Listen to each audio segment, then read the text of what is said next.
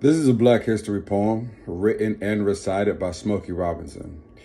Um, throughout this poem, uh, Smokey Robinson uses a racial slur, the N word, on multiple occasions. And although he uses it in a very educational and contextually appropriate manner, um, I am uncomfortable with using that word, um, especially on this platform.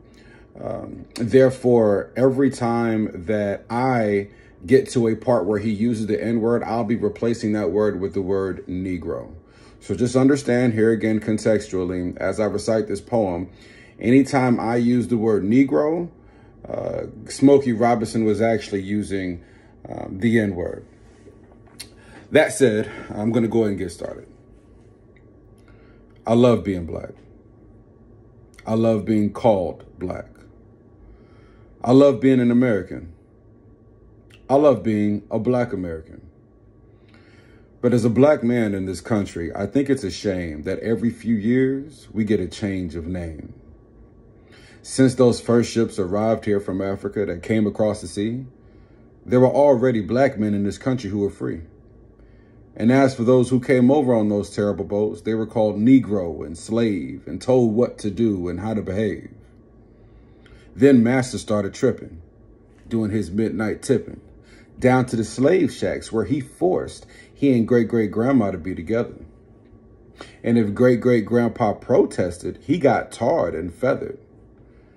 And at the same time, those black men in the country who were free, they were mating with the tribes like the Apache and the Cherokee. And as a result of all that, we're a parade of every shade. And in this late day and age, you could be sure ain't too many of us in this country whose bloodline is pure. But according to a geological, geographical genealogy study published in Time magazine, the black African people were the first on the scene. So for what it's worth, the black African people were the first on earth. And through migration, our characteristics started to change and rearrange to adapt to whatever climate we migrated to. And that's how I became me and you became you. So if we're going to go back, then let's go all the way back. And if Adam was black and Eve was black, then that kind of makes it a natural fact. Everybody in America is an African American. Everyone in Europe is an African European. Everyone in the Orient is an African Asian, and so on and so on. That is if the origin of man is what we're going to go on. And if one drop of black blood makes you black like they say, then everybody's black anyway. So quit trying to change my identity. I'm already who I was meant to be. I'm a black American born and raised. And brother James Brown wrote a wonderful phrase, say aloud, I'm black and I'm proud. Say aloud, I'm black and I'm proud. Because I'm proud to be black and I ain't never lived in Africa. And just because my great, great, great granddaddy on my daddy side did, don't mean I want to go back.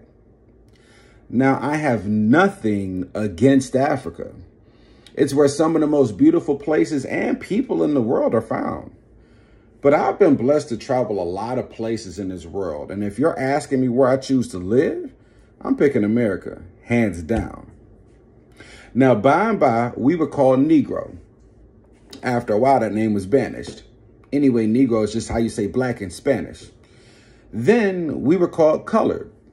But heck, everybody's one color or another, and I think it's a shame that we hold that against each other.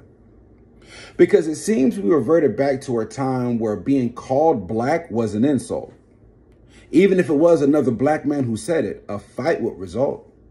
Because we had been so brainwashed that black was wrong, that even the yellow Negroes and the black Negroes couldn't get along. Then came the 1960s where we struggled and died to be called equal and black. And we walk with pride with our heads held high and our shoulders pushed back. And black was beautiful. But I guess that wasn't good enough. Because then here they came with some other stuff. Who came up with this message anyway? Was it one or a group of Negroes sitting around one day? Just feeling a little insecure, again, about being called black. I guess they felt being called African American sounded a little more exotic. Well, I think they were being a little more neurotic. It's that same mentality that got Amos and Andy put off the air because they were embarrassed about the way the characters spoke. And as a result of that action, a lot of wonderful black actors ended up broke. Well, we were only laughing and joking and having fun about ourselves. So I say, forget you if you can't take a joke. You didn't see the Beverly Hillbillies being protested by white folk. And if you think that cause you think that being called African American is going to set all black people's minds at ease, since we affectionately calling each other Negro, I affectionately say to you, Negro, please. How come I didn't get a chance to vote on who I'd like to be? Who gave you the right to make that decision for me? I'm not under your rule and in your dominion, and I'm entitled to my own opinion. Now, there are some African Americans here, but they just recently moved here from places like Kenya, Ethiopia, Zimbabwe, and Zaire. But not a brother whose family has lived here for generations, occupying space in all the locations New York, LA, Baltimore, Detroit, Chicago, even if he is wearing a dashiki or sporting an afro. And if you go back to Africa and search your race, you'll find out quick you're not an African American. You're just a black American in Africa taking up space. Why you keep trying to attach yourself to a continent? If you had a chance to go and you went, most people over there wouldn't even claim you as one of them, as a purebred daughter or son of them.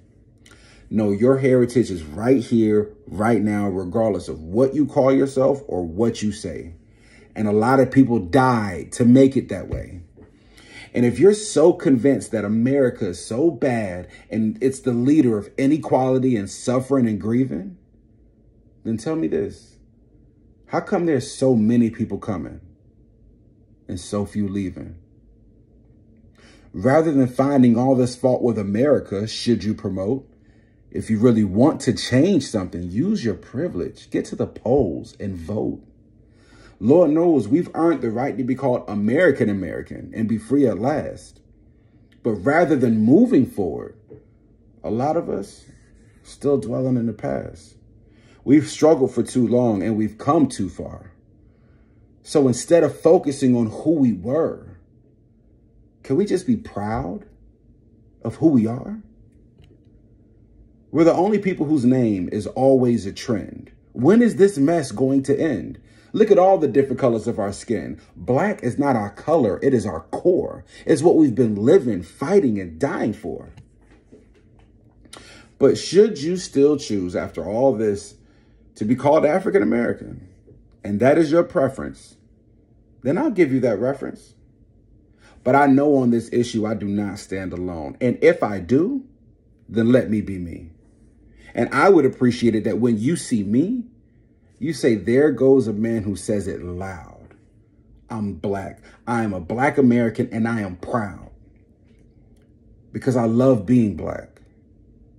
I love being called black. Yeah, I said it and I don't take it back. Smokey Robinson.